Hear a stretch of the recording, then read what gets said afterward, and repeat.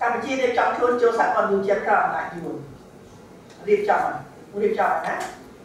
2013មុខជាសហព័ន្ធយុវជនក្រៅអំណាចយួនជាផ្លូវការហើយអា chronology ហ្នឹងខ្ញុំនិយាយថា2006ខ្ញុំនិយាយ7ឆ្នាំហើយដើម្បីខ្មែរគេថា2013យើងរឿងហើយពីរត់យើងឥឡូវយើងប្រើប្រតាការហ្នឹងណាតែឥឡូវយើងតែខ្លួនម៉េច ហើយសូមជឿមើលចាប់2013ណា Solution.